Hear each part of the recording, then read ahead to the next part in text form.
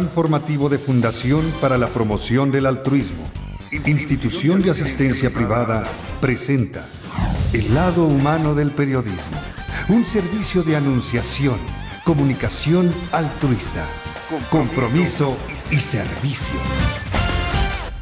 Hola, ¿qué tal? ¿Cómo están todos ustedes? Me da mucho gusto saludarles. Esto es Anunciación TV y vamos a ver cómo eh, la están pasando los adultos mayores en el Distrito Federal concretamente y nos va a platicar de la Asociación Mexicana Pro Rehabilitación Integral IAP, su presidente Alejandro Herrera y Andunga. Sí. Anduga. Anduaga. Anduaga. Ah, mira, aquí me pusieron Andunga. Anduaga. Bueno. Anduaga. Bueno, Alejandro, ¿cómo estás? Me Bien, Tere, muchas gracias. Que has estado rehabilitando personas con discapacidad para el trabajo, crearon una purificadora de agua, embotelladora de agua purificada, y ahora te vas con el sector de los adultos mayores. ¿Cómo, cómo surge esta transición? Bueno, no, no es transición, realmente tenemos alrededor de 15 años prestando servicio en una casa de día, pero servicios muy, muy aislados, o sea, creamos talleres, diferentes talleres de manualidades, talleres de baile, talleres de lectura, talleres de yoga, y ahora hasta, hasta Zumba están practicando. En, en, la colonia tenemos una casa destinada a dar servicio pues a, las dos instituciones de las cuales yo soy presidente. Una de ellas se dedica precisamente a evaluar personas con discapacidad, basados en, un, en, un, en una batería, le llaman los técnicos, una batería diseñada especialmente para evaluar las habilidades de las personas con discapacidad. Este es un modelo de evaluación para personas con discapacidad que se llama MIEO, este, este producto lo, lo, lanzó el Grupo Latinoamericano de Rehabilitación Profesional. Nosotros lo aprovechamos y le damos servicio a diferentes instituciones, evaluando para el trabajo a las personas con discapacidad. Es una batería muy especializada, con resultados maravillosos. A veces las personas que tienen alguna persona con discapacidad creen que pueden realizar algunos trabajos, algunos sí y algunos los reprueban y les cortan sus sueños. Con esta batería tratamos de rescatar los sueños, tratamos de identificar cuáles son las habilidades reales para desempeñar un trabajo real. Y esto pues es una aportación maravillosa que, que le ha hecho el Grupo Latinoamericano de Rehabilitación, del cual yo fui vicepresidente hace algunos años. Este instrumento lo aprovecha el Grupo Latinoamericano de Rehabilitación Profesional Capítulo Mexicano. Y la otra institución hermana es la, Asociación Mexicana por Rehabilitación Integral. Ella nos hemos dedicado ya más de lleno a los adultos mayores en esta casa de día, que es una mezcla entre, entre casa de día y la nueva visión que le estamos dando a nuestra institución acuden aisladamente personas que quieren participar en alguna actividad. Hay señoras que van solamente a la yoga, otras que van a manualidades, y el nuevo desarrollo involucra tener cuando menos ocho horas a estos adultos mayores. Tratamos de solucionar una demanda muy especial de personas que trabajan o que están muy ocupadas o no tienen capacidad para atender a sus adultos mayores. Les estamos brindando la oportunidad de estar en nuestro centro y estar ahí durante ocho horas, que equivaldría al tiempo que las personas que atienden a los adultos mayores estarían trabajando en sus labores diarias, fuera de casa o dentro de casa.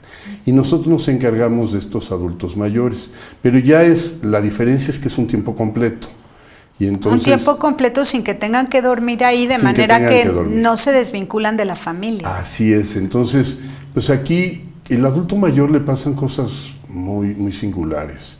De repente sienten que estorban en su casa. Cuando están jubilados, hasta la escoba les pasan encima. De repente se vuelven invisibles. Hay por ahí un, un poema de no me acuerdo quién, que hablaba de que ya era invisible esta persona adulta mayor. La familia hacía sus actividades y ellos se quedaban en medio de la sala sin que nadie los incluyera. Aquí lo que queremos es cumplir con nuestra misión de incluir, somos incluyentes, les damos una actividad y ellos, su principal actividad es rehabilitarse, neurológicamente, físicamente y, bueno, pues hasta espiritualmente. Tú sabes que el trabajo dignifica a las personas y si tienen trabajo se van a sentir más dignos. Y entonces, pues tienen un trabajo que a veces no es remunerado, lo que es procurarse una rehabilitación a su persona. Y el otro trabajo, junto con Agustín Soto Nachón, que es otro de los líderes del gran trabajo por los adultos mayores, estamos abriendo simultáneamente junto con ellos una casa de día. Esta casa de día, más otra que ellos van a abrir en su propio domicilio, ya no es el asilo tradicional Concepción Beistigui, sino que es la casa de día de Concepción Beistigui. Y entonces lo que estamos metiendo son talleres protegidos que hace muchos años funcionaron. Pues mi actividad de empresario me permite tener contacto con diversas empresas, incluyendo la mía, en la que les vamos a llevar trabajo remunerado. ¿Cómo qué? ¿Qué van a, van a fabricar? En, nuestra, fábrica fabricamos portagarrafones, esos que pones el garrafón de agua electropura y tiene una llave y la abres y la cierras con una palanca. Esa llave también la fabricamos nosotros, nomás que lleva un proceso de ensamble, el cual no es complicado, pero hay que ponerle un resortito, una membrana y la palanca, adaptarla con cierta presión y finalmente probar la llave, a ver si sirve o no tiene fugas. Este trabajo se lo podemos llevar muy fácilmente a los adultos mayores. Se hace en la fábrica, pero nosotros tenemos más trabajo.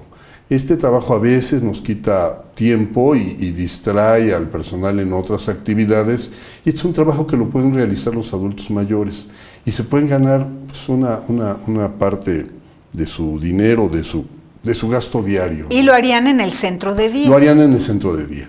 Tendríamos un, un periodo con horarios y buscaríamos que cobraran ellos alguna cantidad por pieza armada con toda la seguridad de que hay un, no, no, hay riesgos a su salud y sí les damos un desarrollo intelectual que ya no estaban ocupando. ¿Y este trabajo sería por cuántas horas para que puedan participar en las otras actividades sí, recreativas? Sería un tiempo, por eso sería un taller protegido, sería parcial, le pondríamos una o dos horas o las piezas que ellos quisieran, de tal forma en que nosotros podamos cumplir con nuestra misión.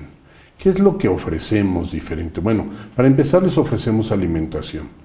Los alimentamos en el desayuno y en la comida, con comida supervisada por una nutrióloga. Eh, a veces no les gusta tanto. Agustín me platicaba que, que, la nutrióloga se desesperó porque hay adultos mayores que no les puedes cambiar su alimentación. Eh, independientemente de las enfermedades que padezcan, pues si están acostumbrados a comer caldo de pollo con pellejito, que es el que le da la grasa al caldo. Entonces sí, sí vamos a buscar con esta nutrióloga que no sea un cambio muy drástico en el, sistema alimentario, sin embargo que sea básicamente verduras y, bueno, pues proteínas que sean fácil de digerir para ellos. Eh, ya tenemos instalada nuestra cocina, eh, ya estamos empezando, inclusive a vender comida para adultos mayores de fuera que no sean miembros activos. O sea, estamos pues, tratando de proyectar nuestro comedor a toda la comunidad. Qué bien, comida para llevar, ¿no? Comida para llevar algunos y algunos llegan solo a la hora del desayuno y de la comida. Ya, sobre todo en el desayuno tenemos gente muy interesada, ya están consumiendo. Empezamos el lunes pasado, ya tenemos cuatro adultos mayores trabajando con nosotros, y más los, la población flotante, que son cerca de 18, que van a los otros talleres aisladamente. Entonces tenemos un cupo máximo de 25, acabamos de empezar.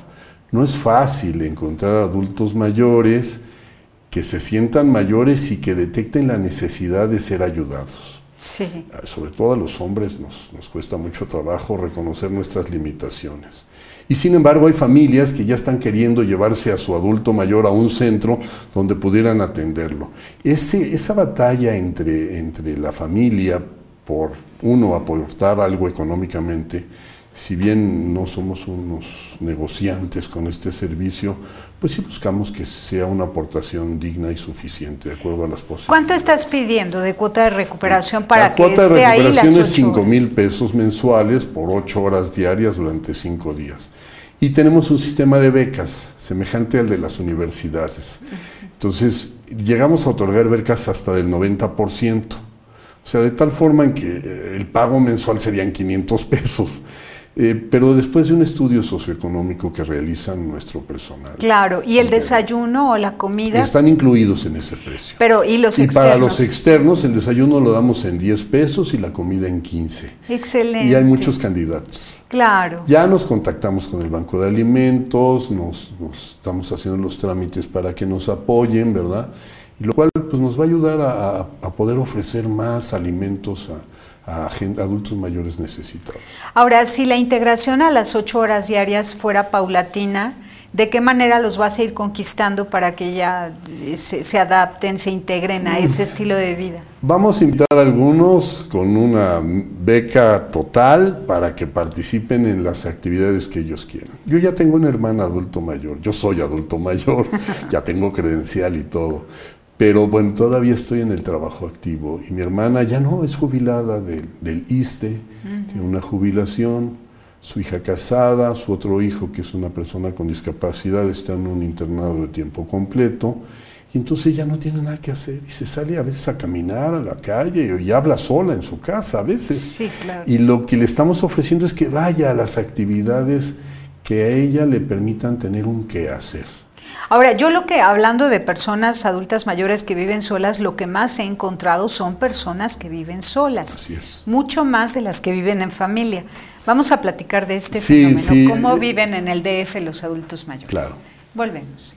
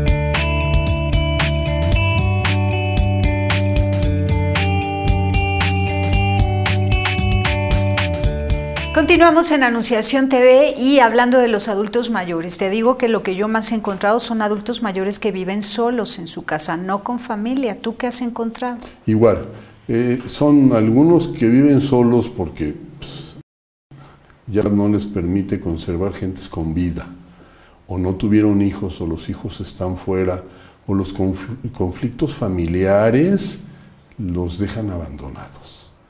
Y hay algunos adultos mayores que deciden vivir solos. El problema es, me, me, acaba de suceder en la familia, una prima que vivía en Poza Rica, Veracruz, no tan grande, 68 años, se murió y la descubrimos muerta después de cuatro días.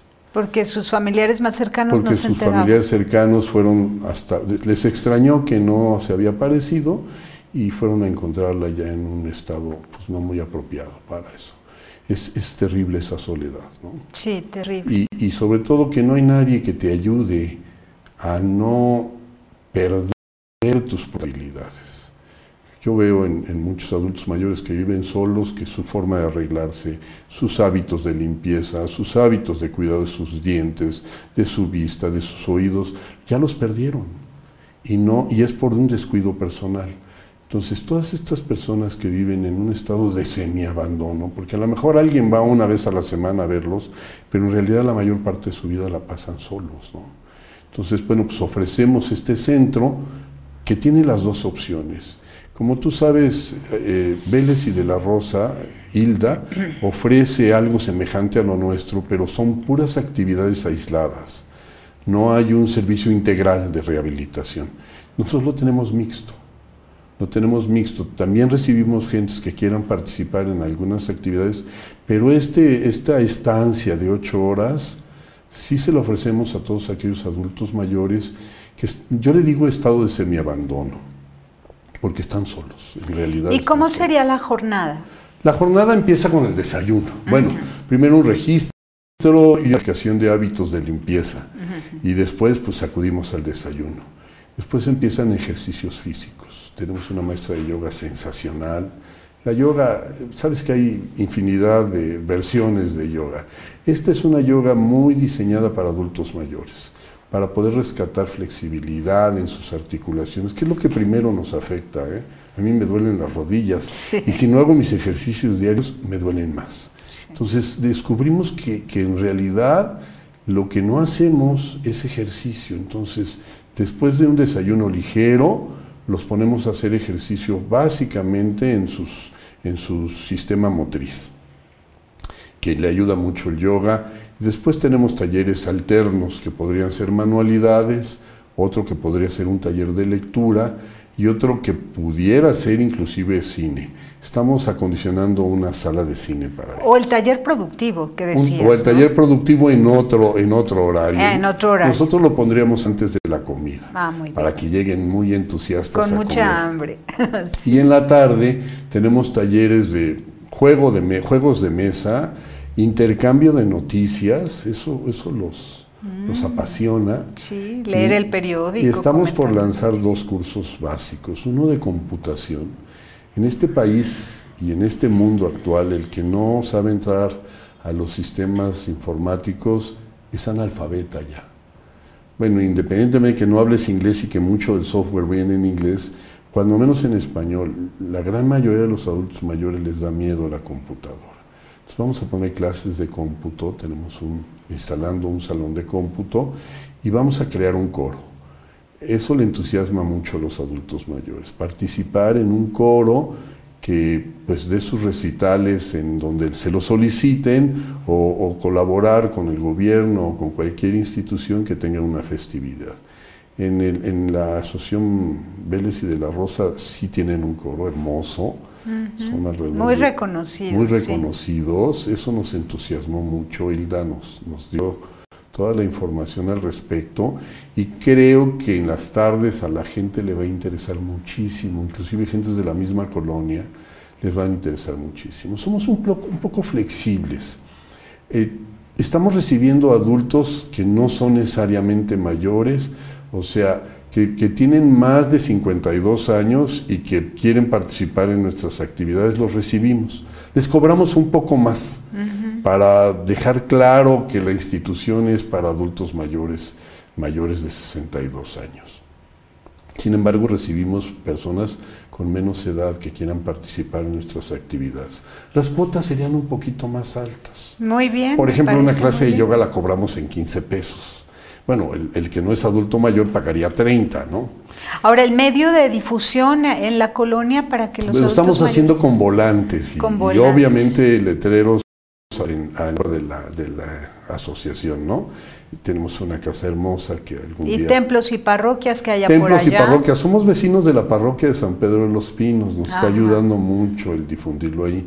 Estamos a una cuadra del mercado de San Pedro, que es muy famoso. Que también ahí se está difundiendo. Y como es una colonia vieja, en verdad hay muchos gentes candidatos. Algún día este, se va a llenar nuestra institución. Llevamos tres días y ya tenemos cuatro asistentes y nuestro personal. Cuatro de ocho horas. Cuatro de ocho horas. Y los demás, bueno, pues son, son asistencias parciales. Entonces sí tenemos un máximo de 25 y, y creemos que lo vamos a llenar pronto. Seguro que ya sí. Ya estamos adaptando el tercer piso. Esta es una casa de tres pisos. Bueno, planta baja, primer piso y segundo piso. O sea, tenemos tres niveles. Y el tercer nivel es donde estamos poniendo el cine. Un miembro de nuestro patronato tiene una fábrica de salas. Nos va a aportar todos los sillones para la sala de cine o eventos especiales. Excelente. Está, está de verdad muy a gusto. Otro va a ser nuestro salón de, de cómputo y finalmente, bueno, pues en donde va a ser el cine también vamos a practicar el canto. Tenemos un salón de usos múltiples que son como 70 metros cuadrados que nos usa, nos gusta para todo. Todas las actividades físicas las hacemos ahí. un consultorio para el médico, geriatra, es un geriatra que va una vez a la semana a revisar las condiciones básicas de nuestros usuarios y una psicóloga para atender todos estos casos de, de soledad y depresión. Ahora, de la soledad y depresión, vamos a hablar cómo está integrada la familia hoy para que estos adultos mayores vivan solos en su casa. Te encuentras que eh, son familias rotas, que los hijos y las hijas todos trabajan, que no son capaces ni, ni, de atender a sus propios hijos, mucho menos a sus padres. Así es. El, es que hoy el mundo ha cambiado, la mujer ha salido de la casa afortunadamente para tener sus actividades de realización personal. Lo malo es que ha sido en perjuicio. Lo malo es que sigue, sigue en el perjuicio de aquellos adultos. Creo que en México todavía un porcentaje importante de adultos mayores viven con su familia. La mayor cantidad de, de, viudas son viudas, o sea, la viudez se presenta más en mujeres y la mujer tiene más facilidad de adaptarse a la vida en su propia casa o en casa de sus hijos o hijas, básicamente con hijas, pero los viudos en verdad no saben qué hacer, se sienten que estorban. ¿Y por qué? Porque pues los hijos se van, casi en todas las familias trabajan los dos y, y se quedan a veces encargados, pero muchas veces ya la demencia senil no les permite este, atender cosas de importancia como cuidar un bebé o atender un niño o, ponerse a cocinar o hacer cosas que, pudieran representar con un descuido un peligro. Y esto pues los pone en una situación de riesgo alto. Entonces lo que nosotros ofrecemos es un lugar donde estar, donde sentirse dueños y señores de él y poder inclusive interactuar con otras personas de su edad. Ahora, estos que viven solos eh, han sido eh, perjudicados de parte de sus hijos económicamente, les han quitado sus bienes. Platícanos la situación real de los adultos mayores. Hemos encontrado muchos adultos mayores. Uno, que, que es muy cercano, de repente tenía su casa, los hijos decidieron, en un viaje que hizo a ver a otra hija, decidieron quitarle su casa, rentarla, y una de ellas le ofreció un anexo en su casa donde vivir. Le quitan su jubilación, el dinero de su jubilación de seguro social que de por sí es baja, y no le dan las rentas de su, de su casa dividida en tres departamentos, y entonces se queda sin dinero este adulto mayor. Le quitan su coche, se lo venden, y le dicen que todos los beneficios son a cambio de dejarlo vivir y darle alimentación ahí. Qué pues es un adulto mayor que necesita protección. Claro, y defensa. Y defensa. Sí, sí, sí. Sabemos de Fundación Trofeo a la Vida que la mayoría de los vagabundos encontrados en las calles, que llevan solo dos o tres días en las calles, son papás abandonados por sus hijos, echados de su casa. Echados de su casa. Bueno, máxime cuando llega una nuera, ¿verdad?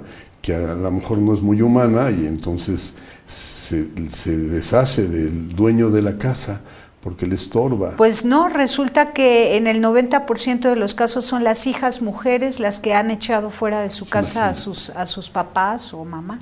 El, el, problema de un crecimiento poblacional tan grande en México y de no tener alguna oportunidad de vivienda los obliga a vivir todos en la misma casa. Cuando los adultos mayores pues ya se quedaron sin su pareja, sea hombre o mujer, pues empiezan a estorbar, porque ya se perdió ese, esa autoridad y patriarcado o matriarcado que existía.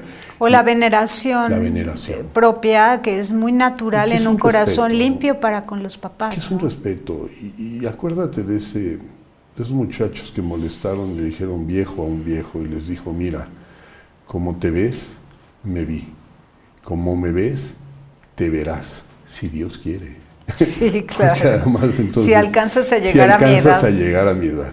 Entonces, ese respeto, esa dignidad de la persona se está perdiendo un poco en esta ciudad porque estamos metidos en un mundo muy materialista y nosotros creemos que nuestros recursos humanos y nuestros talentos debemos aplicarlos a, pues a, darle mayor seguridad de vida a los adultos mayores. Muy bien, entonces además del centro de día, quiero que me platiques de qué tipo de servicios legales ofreces a los adultos mayores y si hay alguna bolsa de trabajo para ellos. Bien, eh, eh, ¿vamos a un corte? ¿Sí? corte. Gracias, volvemos.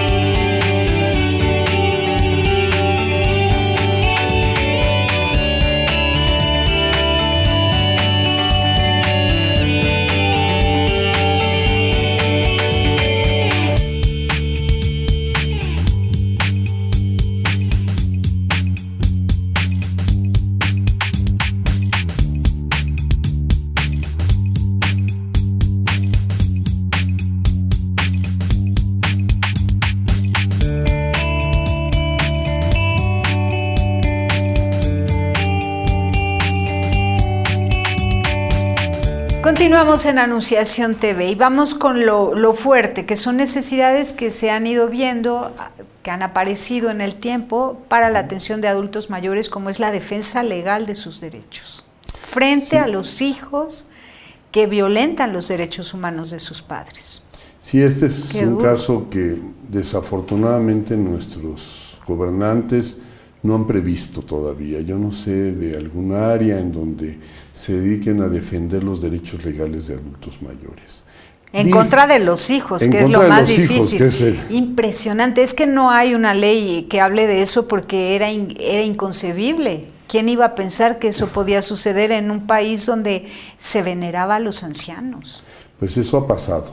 Y yo creo que sí tenemos la gran misión, los que estamos entrando a esa edad, de poner ejemplos ¿no? y, de, y de ayudar a los adultos mayores. ¿Por qué?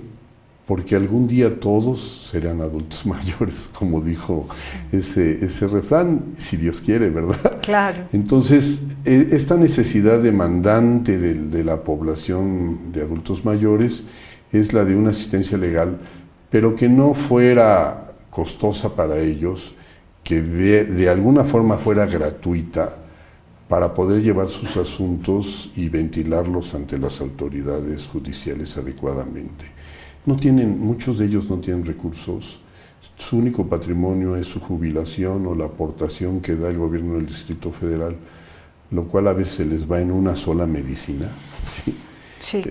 Si compran, si son diabéticos es la enfermedad más grande que existe y cara porque los medicamentos, ahora ya con, los similares se ha, vuelto barata la, medicina para ellos, pero es muy cara. Las simples pruebas para probar el nivel de insulina o de azúcar que tienen en la sangre es caro. Es una enfermedad cara que muchos de ellos se gastan todos sus recursos que reciben de jubilación en atención médica, de que sobreviven. Entonces, nosotros si pudiéramos ofrecer, ya tenemos un abogado en la institución, es el siguiente paso, complementar los servicios con un servicio legal, sobre todo en el despojo de propiedades, que, y, yo despojo de sus percepciones por jubilación o por bonos del gobierno. ¿no? E, eso sí estamos muy dispuestos a empezar a defenderlo, en los próximos meses ya lo presentaremos con toda la estructura para asegurarnos de que siempre sea en beneficio de los adultos mayores y que a veces no se cometan injusticias. A veces algunos adultos mayores podrían estar equivocados en sus reclamos, ¿no? Claro, también puede ser. no se puede juzgar tan rápido, pero pues es cuestión de investigar y documentarse para saber si hay elementos de defensa y llevarlo a cabo así. Y el otro, el otro tema es la bolsa de trabajo. Son las tres áreas fundamentales de nuestra, de nuestra actividad y de nuestra institución. Nosotros luchamos por ser incluyentes, por incluir a las personas que inclusive son adultos mayores o están a punto de serlo y que no tienen trabajo. esta es una idea que nació hace mucho tiempo. Yo le llamo el banco de talentos porque los talentos están refugiados precisamente en los adultos mayores que traen un bagaje de experiencia enorme en su vida y que al jubilarse, retirarse o al despedirlos, ese conocimiento se queda desperdiciado.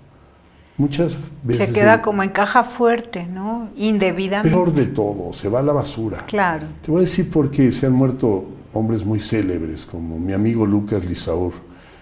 Y dices, todo su conocimiento, su experiencia y su cultura se desapareció. No quedó documentado. No quedó documentado. Lucas era un hombre muy trabajador, con unos sistemas de venta maravillosos. Esa zapatería, el Borseguí, la llevó a los niveles más altos. Todos conocemos que fue el Borseguí. Y su estrategia de venta era un tesoro. No quedó documentado. Híjole. Sus relaciones eran maravillosas. No quedó documentado su estilo. Era un tipo que cada día de tu cumpleaños te llegaba un regalo de él, aunque sea una tarjeta. Depende del nivel de relación. A mí llegó a regalar zapatos Bali, imagínate. El cariño que me tenía me daba un vale de zapatos de los que él vendía. Pero era toda una estrategia comercial y, de, y de, relación social maravillosa. Todo eso, pues, cuando murió Lucas se fue. Y así, o sea, se murió mi hermana, también se fue. Tenía un doctorado y era ingeniería en química. Pues, se fue, se fue, ¿no? La mató el cáncer. Todo eso se va, y lo peor de todo es que hay unos que están vivos y no aprovechamos lo que tienen. Entonces surge la idea del banco de talentos, de muchos que sí todavía están en condiciones de aportar, de ser consultores, de ser asesores. Uno de mis clientes tuvo una idea de, de, sí jubilar a los que tenían que estar jubilados y de darles trabajo de consultores en su especialidad a nivel obreros. Estos clientes fabrican loseta para el piso y, tienen a sus grandes maestros que son los que enseñan a los, a los nuevos obreros a trabajar y operar sus máquinas. De ahí nació mi idea del banco de talentos. ¿Por qué? Porque en verdad, si pones un anuncio o, aprovechas un medio de comunicación como el, como el que estamos ahorita y dices, oye, tenemos expertos en talento de plomería, inyección de máquinas, imprentas, o sea, lo que se te pueda ocurrir podemos recopilar todos los datos de gente que están interesadas en trabajar. Claro, y además la capacidad de discernimiento que ellos tienen y la creatividad, porque fueron los que hicieron México cuando en México no había prácticamente nada. El 75% de la población era rural, luego las ciudades empezaron a llenar de gente y fueron ellos los que fueron creando sistemas de vida, formas de empleo, negocios, y, eh, abriendo mercado, formas de trabajo, etcétera. Entonces, bueno, son ellos los que saben cómo podemos hacer que México se restaure a como está ahorita devastado, ¿no? Pero es primero revalorando a estas personas que están ahí en el banco de los desesperados y no en el banco de talentos. Y todo lo que tenemos que hacer es entrevistarlos, evaluar sus capacidades, sus habilidades e incorporarlos en una bolsa de trabajo que nos dedicaremos a promover y que ya te pediremos mucha ayuda para eso. Por supuesto. El Grupo Latinoamericano de Rehabilitación Profesional como fin tiene, tiene el de incorporar a personas, básicamente con discapacidad, al mundo laboral y por eso tenemos esa batería de evaluación. Si bien la, la edad pudiera ser un atributo para poner fuera del trabajo a, personas que aún lo pueden hacer.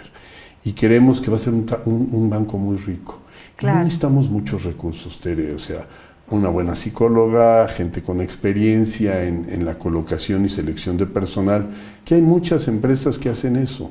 Y nosotros tendremos pues, a todos los niveles, buscaremos pues, un sistema de informático que nos permitiera promover el, utilizar los talentos de estas personas. Excelente. Y por lo pronto servirá a tu espacio eh, como maquila también, ¿no? Podrán llegar algunos contratos para que elaboren ahí algunas partes de un proceso. Te voy a platicar que eh, Industrias Pro Rehabilitación del Inválido hace como 30 años, cuyo integrante era Víctor García Lizama y Vinicio Anduaga, este, teníamos una, una, institución que recibíamos cosas regaladas, las restaurábamos en los talleres de esta institución y se, y se vendían.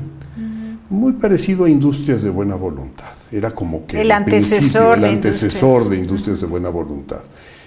Y, y, nos lo quitaron algunos sindicalistas que reclamaban algunos derechos que no tenían. Entonces este patronato abandonó esa institución, se le entregó pero creemos que esos talentos que teníamos que restauraban objetos del hogar son los que deben trabajar. Y bueno, pues yo quiero retomar este principio de la Asociación Mexicana por Rehabilitación Integral, que es así es como nació de esa, de esa inspiración. Quiero volver a retomar el colocar a la gente, si no es con talleres propios, si la maquila de algunas fábricas en, en nuestra propia sede, o bien colocando a las personas en los centros de trabajo donde los demanden. Excelente, pues me encanta y te felicito. Ya publicamos una nota en el periódico Somos Hermanos, la publicaremos, pero en la página de internet anunciación.com.mx está, tanto en texto con fotografía como en video la estamos transmitiendo en el, en el noticiero semanal a lo largo de esta programación de miércoles y se queda en la red para que todo el mundo conozca tu institución AMPRI, el centro de día. Y pues felicidades, Alejandro, de verdad, felicidades y un abrazo a todos los adultos mayores valientes que reconocen la necesidad de relacionarse con otros y seguir viviendo, porque la vida es vivir, ¿no? Esa es la palabra, valientes. es un proceso de vida muy, si a mí me dicen, te voy a llevar a una casa de día, no, yo tengo mucho trabajo en otros lados, pero si en verdad me estás sobrando tiempo. claro, tienes la obligación de ir a encontrarte con el prójimo, porque la persona que se queda sola en su casa, la verdad es que va deteriorando incluso su corazón, su alma, su espíritu, ¿no?